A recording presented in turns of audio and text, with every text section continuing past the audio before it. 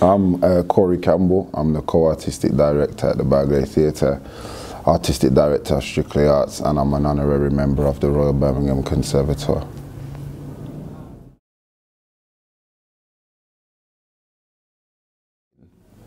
And Seaview for me is about one family, two sides, you know, one very much middle class, the other side very much working class. Um, and um, both sides really wanting the best for themselves, both sides striving for what they see, deem as greatness, you know. Um, and effectively one incident, one event that takes place um, for the family the series, I think, looks at the fallout of that event, that stabbing. Um, and then we added the supernatural twist element because I think I personally had questions about um, uh, the stereo, the stereotype around black families, in particular black working class families, and um, the kind of gang violence or or violent crime or exploitation or whatever it might be that uh, black families are often seen, black, black working class families in particular are often seen as being. And I had some questions for my own life, which I always ask, which is, if I could see the future, what would I have done differently? And I just, I just used the series really to play out that scenario and that's what I often do with my art to be honest my art is my expression sometimes my therapy um, and I use Seaview a true story about somebody who was stabbed and and um, and that particular event to ask the questions about people's future and what it takes for somebody to change cognitively and it's about a lot of things I think the work kind of is what it is. I think by the time you put it down on a page and given it away, you've given it away by then, and you just got to be comfortable with what comes out the other end. That's like, kind of like universal.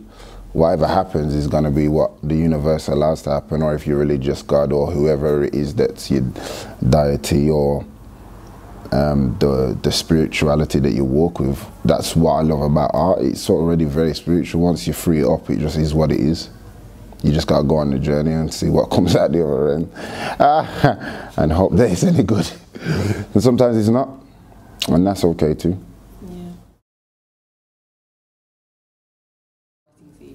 um, uh, I'd written a pilot for Seaview and then um, I just thought it would be cool if we had a writer's room and lots of different opinions and understanding of the world. So we did a call out, Belgrade we did a call out for writers. You didn't need any experience. You could be new. You know, you could be a, a poet or a spoken word artist. We are just saying, come and come and join us. We ended up a, with a writing, writers' room of um, of six people, and they did they each did one episode. And again, they did a brilliant job. But that was really difficult to just free over to them. Um, but that was part of the process, and. Um, and they each took one episode each, and they were from all all different walks of life, which was amazing. And they all had very different experiences, and some had never had any of these type of experiences that Seaview explores. Um, uh, but I think that really added to it, and uh, some of them had never written for screen before, and you know, there was varied experience. They were all West Midlands based, I believe, which was amazing, and. Uh, and incredibly, um, what do you call that? Where uh, people ex exploratory, they were incredibly experimental, man. They they they weren't afraid to just go to places that I hated the idea of. Um, and they really weren't afraid to tell me that that's where they were going, whether I liked it or not, which I also loved. It was a great experience. The writer's room was incredible. And I think that they wrote the episodes in seven weeks, I want to say. I can't really remember. You have to look at something else. But it was like seven weeks, I believe. Something like that.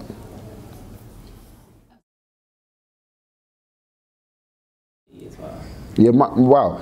For a start, my goal going into Seaview was to make sure that we were able to offer credit as in film credits to people that don't necessarily have the experience or haven't been given an opportunity like like Seaview held.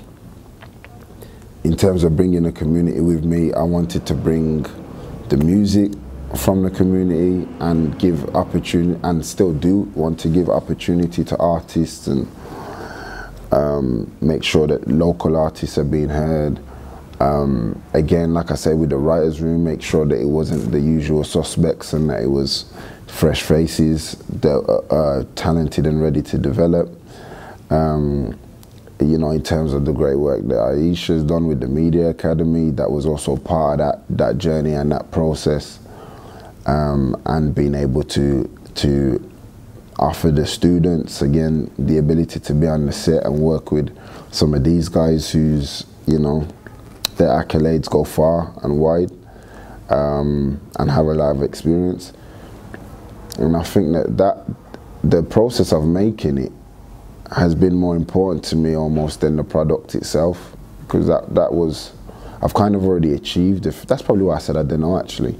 I've kind of already achieved the thing I wanted to achieve through Seaview um, uh, which is to show people, many of whom were about to leave the industry, especially, you know, um, some of the, the crew that we have and the diversity of the crew, they weren't being given opportunity on drama, which was their love and their passion, and, and we managed to do that, and we managed to keep it local, you know, and when it's done, I do hope that people will not be able to say that they don't have the talent pool in the Midlands or West Midlands particularly because we got it here. And then I hope that somebody takes on the kind of blueprint that we've created and uh, and keeps it going, but gives everybody more money. Everybody deserved more money.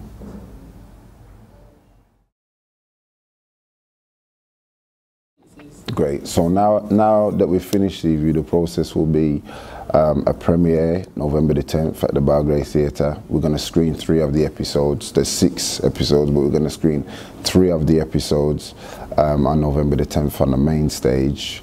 Um, that's going to be an all singing or dancing premiere. I'm really excited for that, can't lie. Make sure you dress up, you know, you look good. I'm doing a red carpet thing, but I, I want the Pan-African colours still, so I'm going to switch up the carpet and that, this, that, boom, boom, boom and then um, and then I, I, believe for the rest of the week it has screenings in B2 as well, um, all three episodes again, and then um, and then it goes out to distribution.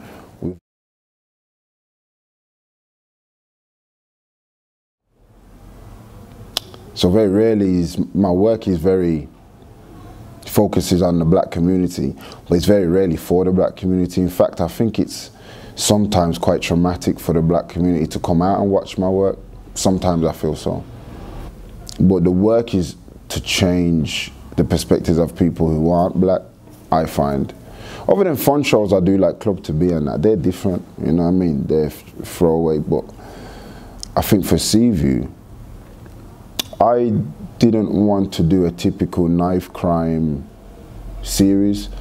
So instead of focusing on the crime, I wanted to focus on the fallout of that. I wanted to create a family drama that was black as opposed to a crime drama that was all that was black. You get me?